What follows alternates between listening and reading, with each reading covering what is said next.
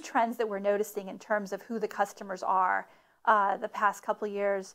One is the demographics of customers. You know, there's been endless talk uh, over the past few years about the millennials, the the 18 to 34 year olds who are now you know this huge generation rivaling the baby boomers in size that are coming into the marketplace and you know who are they what do they want to buy and also some concern you know are they interested in buying cars they haven't been buying as many cars uh, as one might have hoped and there's some fear that maybe they don't want cars you know, maybe they have you know other preferences in terms of uh, you know how they want to spend their money so this is something we've done some research on. Uh, the good news is is that we do believe they do want to buy cars.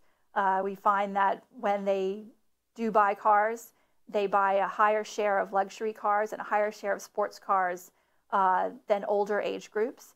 So we take that as a sign that they're not just interested in you know cars for utilitarian purposes. They actually want to have the good stuff, uh, you know, and they're interested in cars as a you know as a you know, something to indulge their various taste and interest.